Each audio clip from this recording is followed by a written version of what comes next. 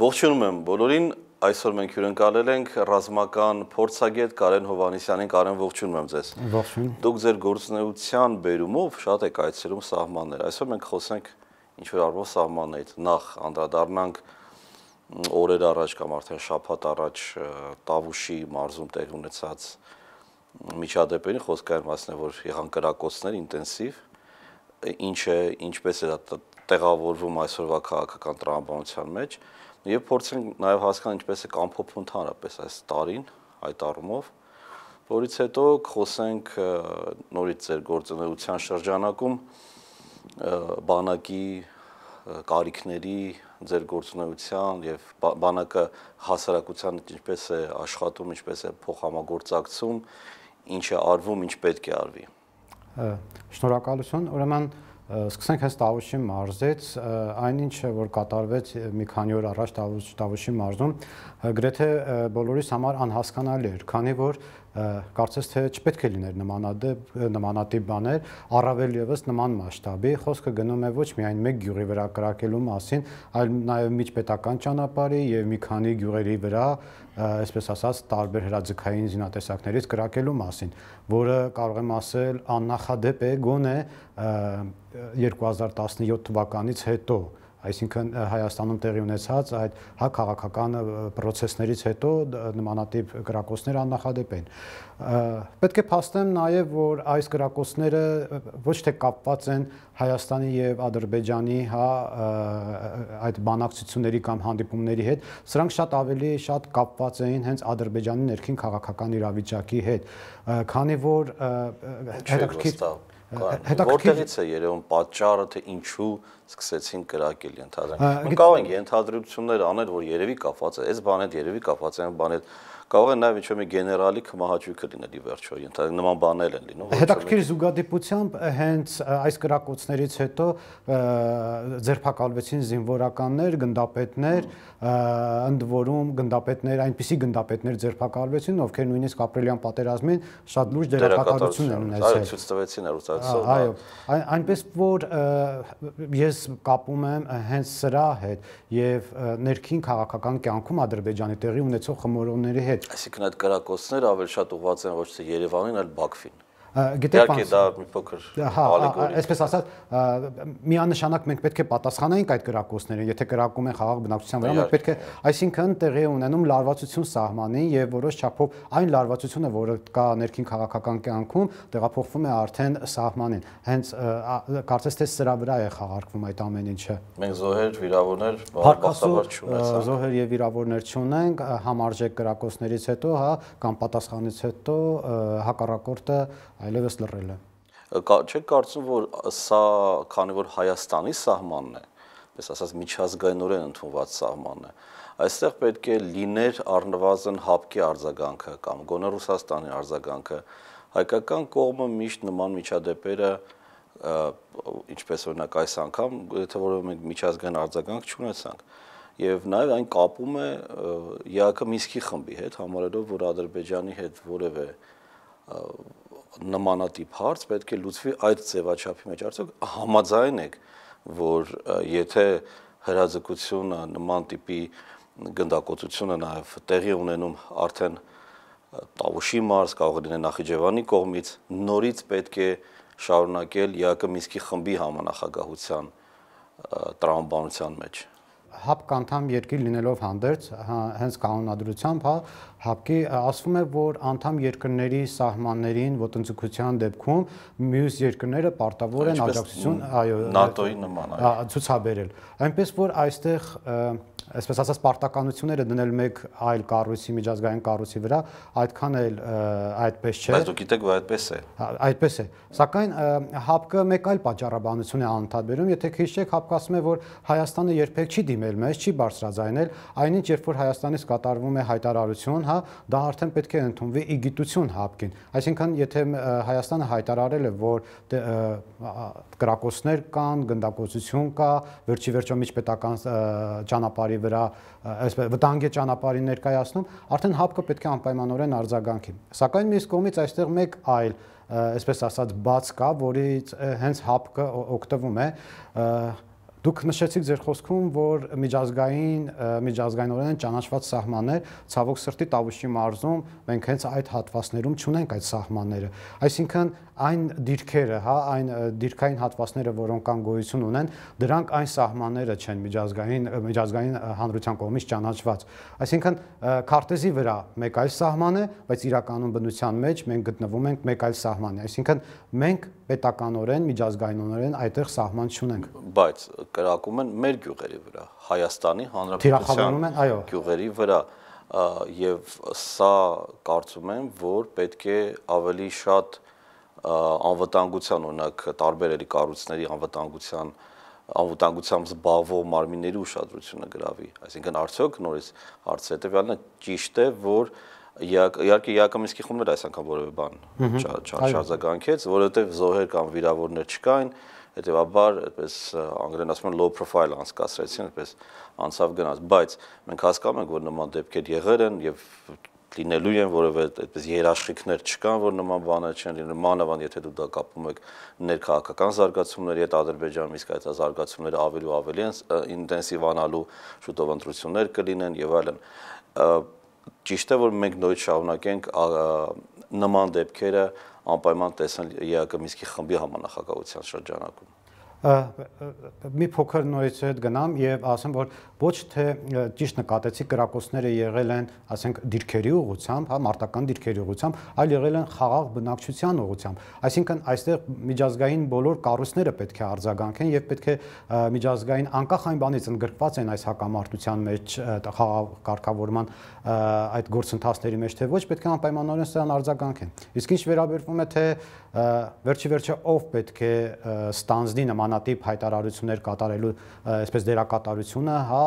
որպեսի հետագայում գոնե քիչ լինի կամ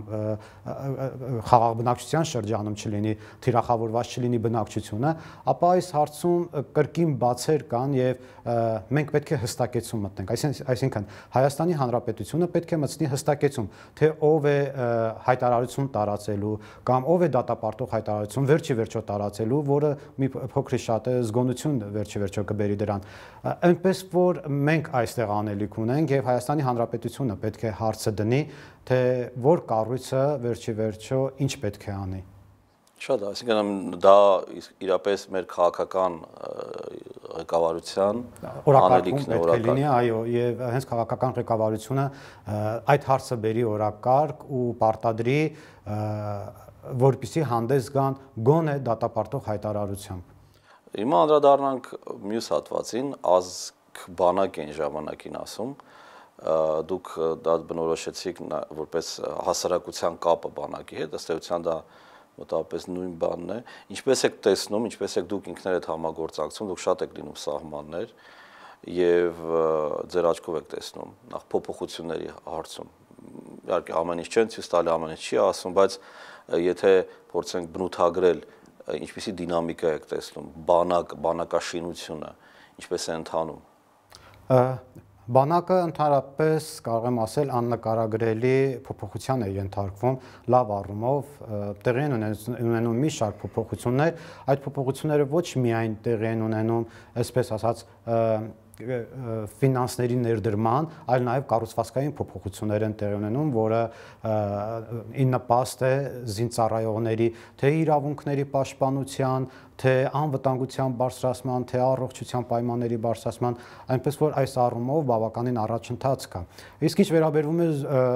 մարդունակության բարձրացման հետ կապված, նույնպես այստեղ պետք է փաստեմ, որ բավականին առաջընթաց կա համեմատած մյուս տարիներին, ընդ որում պետք է ես ասեմ, որ այս առաջընթացը սկսվել է դեռևս 2016 թվականի ապրիլյան պատերազմից հետո եւ այնպես չէ որ նոր է։ Պարզապես այս փուլում այն ավելի մեծ թափով է սկսվել եւ առաջ գնում Փարքասում։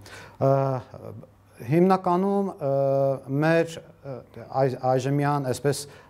ռազմական ղեկավարության ուշադրության կենտրոնում է կարծես թե զինծառայողների սոցիալական վիճակին, այսինքն փորձ է կատարվում իրենց կենցաղային պայմանները ավելի բարենպաստ սարքել։ Երբ ես ինքս ծառայել եմ եւ ժամանակին 2000-ականների սկիզբ այն այն ժամանակ տրամաբանությունը բանակի նկատմամբ գալիս է ինչ որ առնու խորթային տարիներից եւ պայմանների բարելավումը երբեք չի եղել առաջնահերթություն, որովհետև խորհրդային միությունում կար նման մոտեցում, որ զինվորը պիտի կոմֆորտի մեջ չլինի որպեսզի ինքը հասկանալի պատճառն է, քան որ վաղ ինքը լինելու խրամատում, ենթադրենք վաղ ինքը կռվելու է թշնամու դեմ, եթե ինքը փափուկ մահճակալի վրա քնի, շատ լավ սնունդ ուտի, հետո կոնտրաստը մեծ է լինում, երբ որ գնա քնելու տեղ չլինի քարերի վրա, լինի ջուր չլինի, հաց չլինի եւ այլն, եւ բայց կարծեք եւ հուսով դա եմ ուզում հասկանալ, արդյոք այդ տրամաբանությունը իրեն սպառ է, պիտի սպառի, որովհետեւ աշխարհը փոխվել է եւ պետք է ամեն ինչ ընդհակառակը հասկանալի է, որ չես կարող 5 աստղանի հյուրանոց դարձնել, բայց նաև կոմֆորտը նաև մնացած մնացած բոլոր պայմանները չափի մեջ իհարկե տալիս են ավելի շատ մոտիվացիա, տալիս են ավելի շատ հնարավորություն զինվորի համար նաև հասկանալու թե ինքը ինչ է անում, հասկանալ, գիտակցելու թե ինքը որտեղ է, թե ինչպես ինքը պետք է պայքարի, որ ինքը պետությունն իր հետևում ընտանիքն է եւ այլն եւ այլն, արդյոք դա փոխվել է մեր մեզ մոտ հետաքրքիր դուք համեմատություններ իսկապես անցկացրեցիք։ Տեսեք, մենք ոչ թե կոմֆորտ ենք ստեղծում զինվորի համար, պետությունը ոչ թե կոմֆորտ է ստեղծում զինվորի համար, շեշտադրումն է այստեղ շատ հետաքրքիր, այլ փորձում է պահպանել զինվորի առողջությունը, քանի որ զինվորը ոչ թե այդ երկու տարին է զինվոր, այլ նաև զորացրվելուց հետո է վերջի վերջո զինվոր, եւ նա պետք է զորացրվի առողջ։ Եվ զինվորի կոմֆորտը այստեղ արդեն ոչ թե որ իրեն այդ պահին լավ զգա, փափուկ տեղաշորում քնի, լավ սնվի եւ այլն, այլ պարզապես իր առողջությունը պահպանի այդ հատվածում։ Ուրիշ հարց, եթե ռազմական գործողություններ են սկսվում, արդեն դա բոլորովին այլ հարթության մեջ է գնում։ Ռազմական գործողությունների համար զինվորները վերջի վերջո անցնում են զորավարժություններ, զինավարժություններ, նրանք ամիսներով քնում են վրանային պայմաններում, սնվում են դաշտային ճաշարաններում, այնպես որ ասել, որ այդ խորթային մտածելակերպով ասել, որ պետք է 2 տարի զինվորը քնի, չգիտեմ, կոշտ տեղը, ուտի էսա, սա, սա, որպեսզի նա պատրաստ լինի պատերազմի այդ դժվարություններին, փորձություններին, այդքան էլ այդպես չէ։ Դեռ ավելի ես պիտի ասեմ, որ ցավոք նաև այդ մշակույթը փոխա փոխանցվեց, ժառանգվեց խորհրդանությունից, նաև զինվորականների միջև փոխհարաբերությունները կառուցում էին ինչ որ առումով ատելության վրա, որpիսի զինվորականները անընդհատ այսպես իրանց պատկերացում խորհրդարամիության զգաստության մեջ։ Իհարկե, այնպես չի որ խորհրդարամիությունը բոլորը մեկը մյուսին ատում էին, ես դա նկատի չունեմ, բայց կար որոշակի լարվածություն ստեղծելու, պես խիստ խստություն եւ այլն, որպեսզի, պես ասած, չլինեն մամայի բալաներ, հա, բանը երեխա չլինեն եւ այլն, բայց սա իհարկե բերել էր շատ սխալ փոխհարաբերությունների զինվորականի եւ ենթադրենք սպայական կազմի միջև, հա, շարքային զինվորների եւ սպայական կազմի, որը մենք հասկանում ենք, որ բերեց ոչ կանոնադրային հարաբերություններ եւ այլն։ Հիմա դա փոխվել է, փոխվում է։ Մենք նաեւ գիտենք մեղրի դեպքը, որ եղավ, դրա մասին հիմա քիչ են խոսում, բայց Ցավոք սրտի այդ փոխհարաբերությունները միշտ եղել են ցանկացած բանակում, ոչ միայն հայաստանյան բանակում, այլ ցանկացած բանակում։ Այդ փոխհարաբերությունները ստեղծվում են հիմնականում այն բանակներում, որտեղ որ կան ժամկետային զինծառայողներ, այսինքն պայմանագրային չեն զինծառայողները։ Իսկ պայմանագրային բանակներում կարծես թե այդ լարվածությունը փոխհարաբերությունների չկա, գոյություն չունի, սպառված է։ Իսկ ինչու է տեղի ունենում այս հարաբերությունները։ Վերջի վերջո տանից գնում են մարդիկ, 18 տարեկան մարդիկ գնում են բոլորովին այլ նիստուկացով, բոլորովին այլ դաստիարակությամբ ու գնում են խիստ ռեժիմով, այսինքն որոշակի փակ ռեժիմով խստությամբ սկսում են իրենց գործողությունները առօրյա կյանքը։ Եվ հենց կարծես թե այստեղից սկսվում են այդ հարաբերությունները։ Սկզբից զինվորների միջև այդ փոխհարաբերությունները, այնուհետև երբ որ դառնում է ակնառու, սկսվում է զինվոր սպա այդ հարաբերությունները պետք է ասեմ, որ այստեղ շատ ավելի անznավորված են հարաբերությունների այդ իմաստը։ Այսինքն զորամասեր կան, որտեղ ընդհանրապես մի քանի տարի նմանատիպ դեպքեր տեղի չեն ունեցել։ Այսինքն հրամանատարությունը, սպայական կազմը այնպես են արել, որ զինվորների հետ ստեղծել են, ժամկետային զինծառայողների հետ ստեղծել են որոշակի կոնտակտներ եւ նրանք կարողանում են այդ բալանսը պահպանել։ Ցավոք սրտի կան այնպիսի զորամասեր, որտեղ որ և, զինվորները իրենք են արդեն սկսում իրենց միջև ստեղծել կոնֆլիկտներ եւ շատ դեպքերում նաեւ ունենք մահվան ելքերով, այսպես ասած, այդ parzabanumների ելքերը ու հիմնականում ինքնասպանությունները ու հիմնականում սա ես ճիշտ ասած կապում եմ ոչ թե սպայական կազմի հետ, այլ կապում եմ հենց ընդհանուր ընդհանուր ընդհանուր այսպես ասած մտնոլորտի հետ։ Նվազել են ձեզ այդ լարվածությունները թե պահպանվել են թե ավելացել են կարող եմ ասել, որ նվազել են նվազել նվազել են գիտեք նախկինում շատ դեպքեր չէին հրապարակվում այդ միջանձնային հարաբերությունների հետ կապված շատ դեպքեր չէին հրապարակվում։ Սակայն հիմա հրապարակվում է միգուցե մարդկանց թվա թե շատացել այդ հրապարակումների ֆոնի վրա, բայց իրականում նվազել են միջանձնային հարաբերությունները հատկապես 2016 թվականի ապրիլյան պատերազմից հետո միշտ արդեն նվազման միտում են ցուցաբերել։ Եվ փորձենք հասկանալ թե ինչ պետք է անել բանակաշինության մեջ, ինչ պետք է անել, որ չի արվում ըստ ձեզ յուրաքանչյուր իշխանություն անկախ նրանից թե ինքը ինչպես է գնահատվել կամ քննադատվել բանակաշինության մեջ փորձել է ինչ-որ մի բան անել, փոխել դեպի դրականը բնականաբար, ամեն մեկ իր պատկերացմամբ, բայց միշտ անելու բան կա, դա հասկանալի է, բնական է, որ անելու բան կա, անընդհատ, անընդհատ եւ անընդհատ, բայց ինչ բաներ կան այդպես, որ ֆունդամենտալ են, որ պետք է արվեն ու չեն արվում ըստ ձեզ։ Հետաքրքիր հարցեր, փորձեմ հարցին այլ կերպ, այլ տեսանկյունից մոտիկանալ եւ պատասխանել, պետք է բանակին, բանակի կողքին լինի հասարակությունը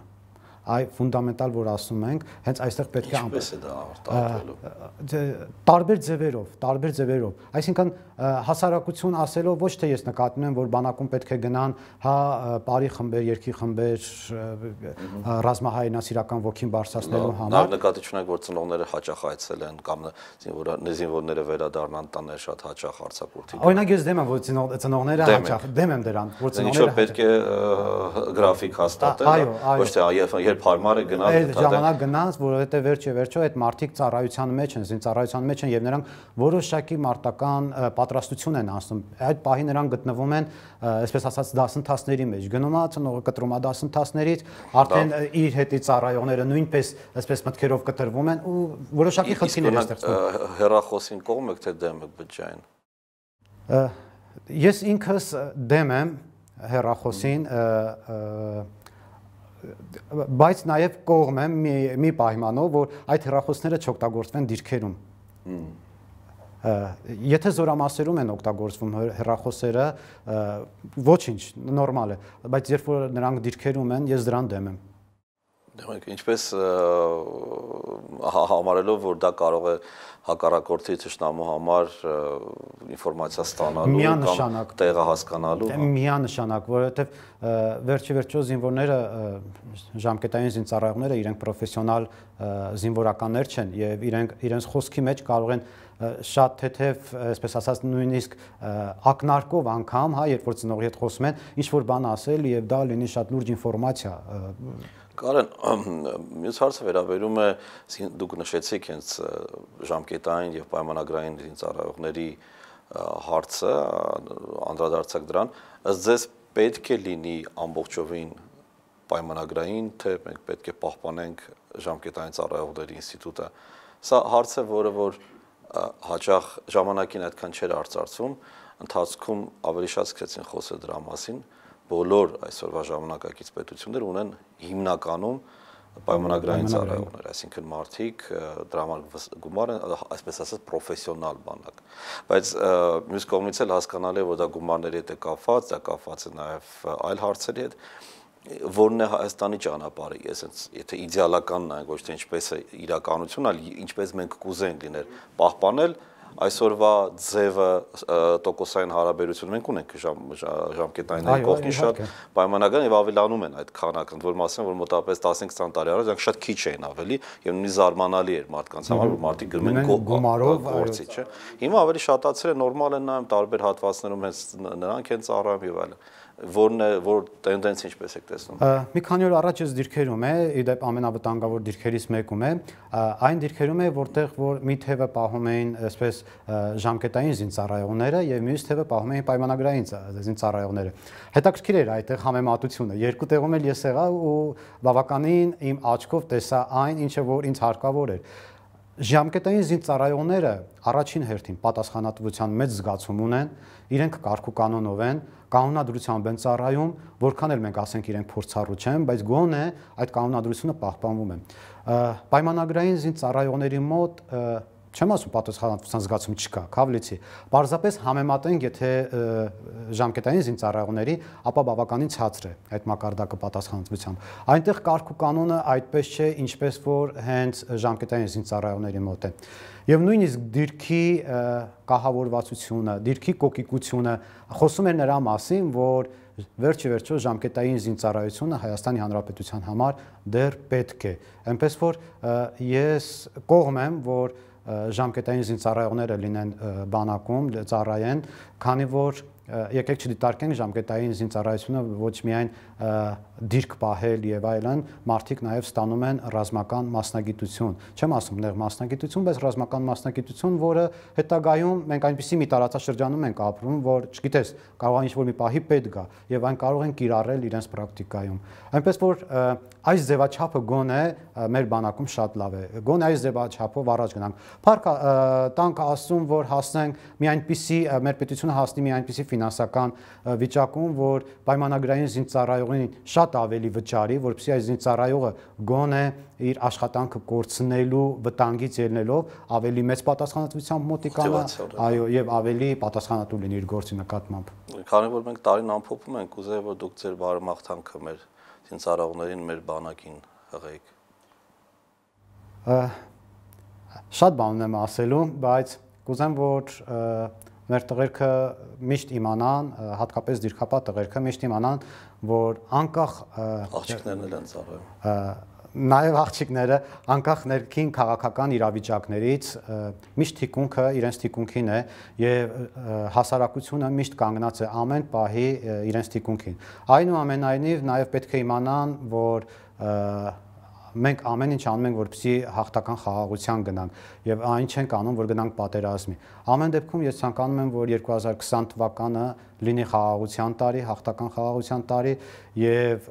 դիրքերում կրակոցներ եթե լսվեն, ապա դրանք միայն լինեն հրավառությունների տեսքով։ Շնորհակալություն կան։ Շնորհակալություն։ Շնորհակալություն նաև մեզ դիտողներին առայժմ։